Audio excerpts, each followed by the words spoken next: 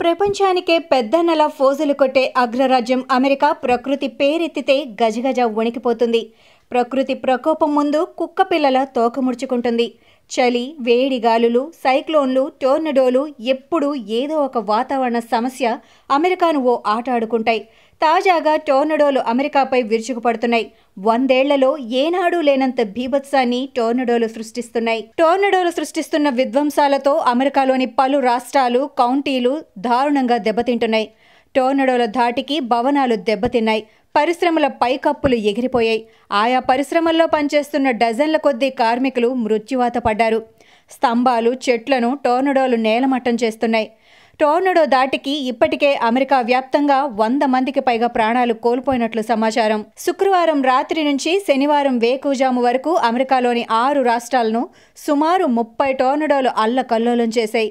మరో రెండు రోజులు టోర్నడోల తీవ్రత మరింత పెరిగే అవకాశాలు ఉన్నాయని నిపుణులు హెచ్చరికలు చేస్తున్నారు.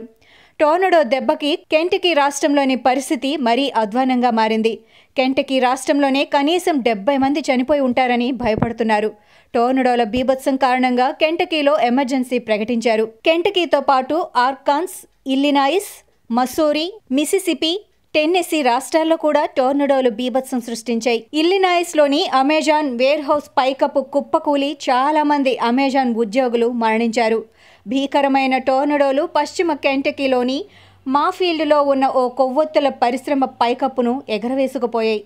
గంటకు రెండు వందల మైళ్ళ వేగంతో ఒకదాని తర్వాత ఒకటిగా టోర్నడోలు విరుచుకుపడడంతో ఆరు రాష్ట్రాలు అల్లకల్లోలమయ్యాయి. ఇళ్ళు నేలమట్టమయ్యాయి. పలు రోడ్లు మార్గాలు ధ్వంసమయ్యాయి. ఎక్కడికక్కడ విద్యుత్ సరఫరా నిలిచిపోయింది. ఒక్క కెంటకి రాష్ట్రంలోనే కనీసం అరవై వేల ఇళ్ళు చీకట్లో మగ్గిపోతున్నాయి.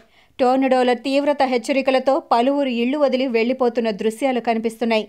టోర్నడోల కారణంగా నిరాశ్రయులైన వారికి స్థానిక పోలీస్ స్టేషన్లలో తాత్కాలికంగా ఆశ్రయం కల్పించారు. అమెరికా చరిత్రలో అతిపెద్ద విపత్తుల్లో ఇప్పటి టోర్నడోల బీభత్సం ఒకటిగా నిలిచిపోతుందని ప్రెసిడెంట్ జో బైడెన్ ఆవేదన వ్యక్తం చేశారు. బాధితులను సత్వరమే ఆదుకుంటామని విపత్తుపై నిర్వహించిన సమీక్ష సందర్భంగా బైడెన్ ప్రకటించారు.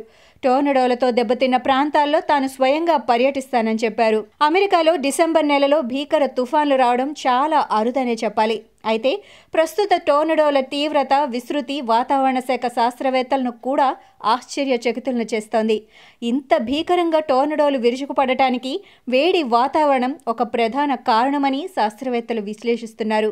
సాధారణంగా నిమిషాల వ్యవధిలో నిర్వీర్యమయ్యే టోర్నడోలు ఈసారి మాత్రం కొన్ని గంటల పాటు కొనసాగడం ఆందోళన కలిగించే అంశం.